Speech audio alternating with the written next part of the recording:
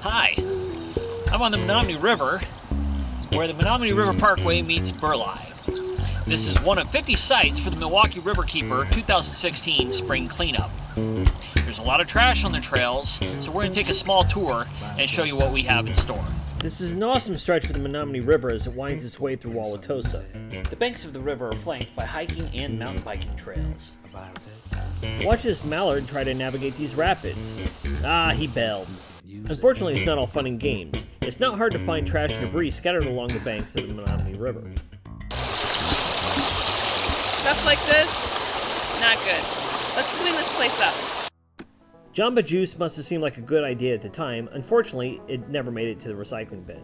Mountain Dew can? No way. And Reese's Peanut Butter Cups? You don't belong in the river. That's why we need people like you to come out on April 23rd and help us clean this river up. It's so easy. Just go to MilwaukeeRiverkeeper.org and click the events page. Scroll down to the Spring River Cleanup for 2016 and click View More.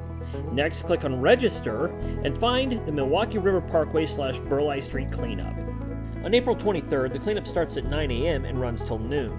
Park along the Menomonee River Parkway, north of Burleigh Street. Check-in will begin at 8.30. Milwaukee Riverkeeper will provide trash bags, gloves, and t-shirts to everyone who's registered. At minimum, wear a sturdy pair of hiking boots or work boots. Better yet, if you have rubber boots, those will be perfect. Conditions may be muddy.